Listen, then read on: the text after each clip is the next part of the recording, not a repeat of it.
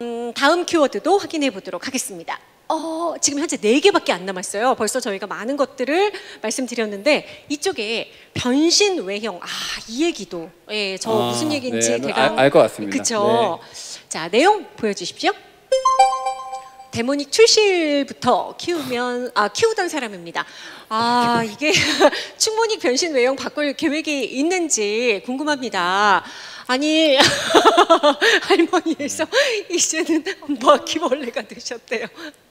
아, 큐아님께서 아, 표현을 꽤나 어, 지금 디렉터님께 세게 하셨습니다.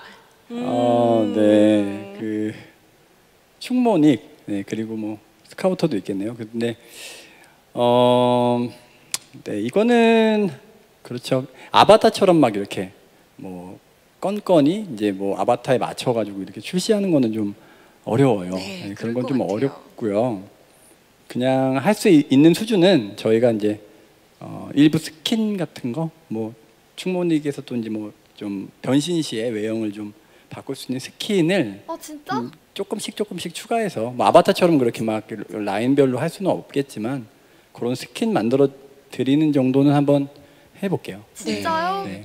많은 분들이 특히 이렇게 변신되는 어, 개를 네. 키우시는 분들 입장에서는 그렇죠 이런 거에 대해서 많이들 좀 원하셨던 걸로 저도 네. 알고 있거든요. 절충 아닐 것 같습니다. 저희가 음. 다 다른 작업이 워낙 또 해드리면 다 좋죠. 근데 그럼요. 저희 시간도 이제 제한이 돼 있어요. 그걸 써야 되기 때문에 스킨 정도면은 좋은 타입 접점이 아닐까 네, 그렇게 생각합니다. 네. 네, 그 정도는 할 수 있을 것 같고요. 많은 분들이 굉장히 우와 예 되게 반겨하시는 걸 예, 지금 느낄 수 있습니다. 아이고 또 좋은 대답이 된 것 같아요.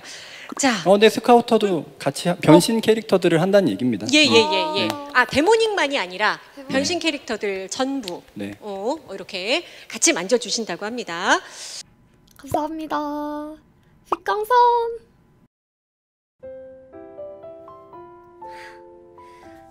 他他他他他他他他他他他他他他他他